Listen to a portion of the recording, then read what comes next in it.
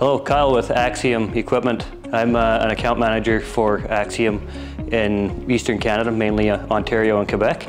Um, here with you today to talk about the Z series generator. We have with us the Z48, which is 48 kVA. Um, a couple of main features on these units are they are 240, 480, 600 volt switchable. They have the built-in load bank, 30% load bank, and they are built as a skid mount unit on a DOT certified trailer. These trailers come with electric brakes um, as standard and on the front here we have the part of the cold weather package which is the temperature actuated louvers. So once the temperature inside the canopy reaches 75 degrees those uh, louvers open up automatically allowing the flow through of uh, cold air. Around the side we have we went with single side doors as you can see which is a convenience for the, mainly for the mechanics. It allows them to work on it without having to um, contend with a cylinder or a column in the middle of the unit. Um, on this side, it's single side service. We have everything can be done from this side. The oil change, the fuel filters, everything is from this side. On these 25, 48, and Z70, we have gone with the Kohler engines and paired it with a Mecc Alte gen end. Um, as you can see, possibly there's a, the, built on a saddle system, so it lifts the generator end and the engine up off the fuel tank, allowing the tank to be slid out the back if there's uh, bad fuel, and, and I'll show that to you in a minute.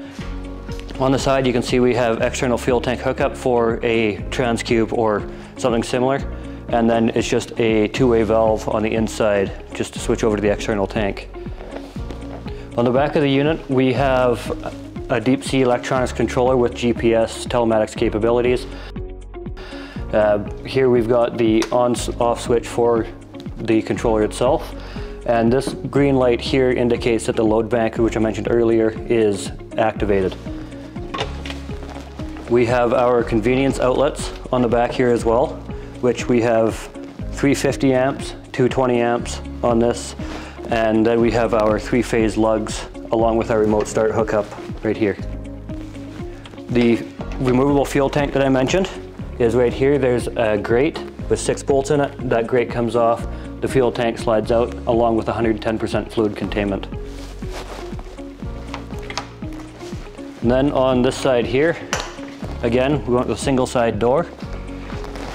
Uh, one large door and we have internal light, which is uh, used for working on at night or fueling up just to help the guys that are working on the units.